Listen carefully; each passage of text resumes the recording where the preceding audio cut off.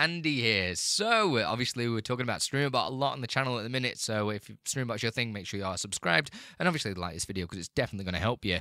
But you've clicked on it because Twitch are obviously getting rid of all the VODs and stuff, right? Oh my God, it's a big VOD apocalypse, VOD apocalypse, something like that. You know, you know how it is. But don't worry about it because in the new StreamerBot Alpha, there is a new feature. And this feature is insane. So underneath the platforms section on the left, you can go to Twitch and you can go to videos. This is a new thing. This is in Alpha 5 at the moment and you'll uh, once you click on it you'll see a list of all of your videos. If you don't you just need to make sure you press broadcaster up here at the top or you can search for a viewer uh, a user and you press search and it'll search for all the vods that are currently on your channel whether or not they're highlights and also archives so your previous vod history which is usually about 60 days. Uh, and what you can do is open the video in your web browser if you want to uh, that'll fire it open, and then you can see the VOD whilst you are live or whatever. As you can see just here, you can see that VOD just there, oh, and I'm currently live, which is fun. That's today.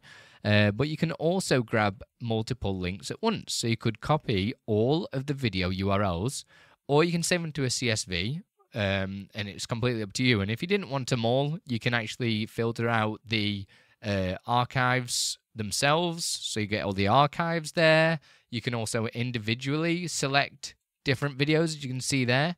And when you right click, you can copy all the video URLs to clipboard, um, or the selected videos, sorry.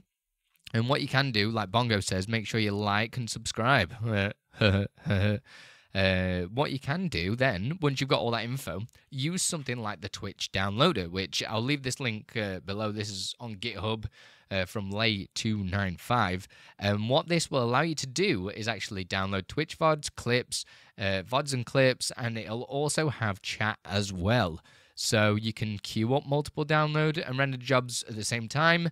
Uh, create a list of download jobs. So you grab the full list that you got from from StreamerBot, go paste it in here, and just leave it running, and it'll do everything for you, backing everything up. Uh, it's super straightforward to do. So uh, if that's something that you're a bit worried about losing any of your VODs, then definitely StreamerBot is for you because it's just built into it. And like I say, the really cool thing about this is that you can search for a different user.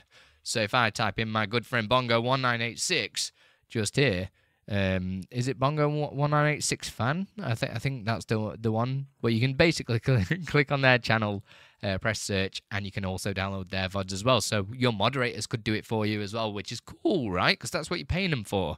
Um, just like you could pay me right now and support me by pressing that subscribe button, or you can use my links down below if you want to get some cool goodies for your stream. And go join my Ko-fi or Patreon and all that jazz.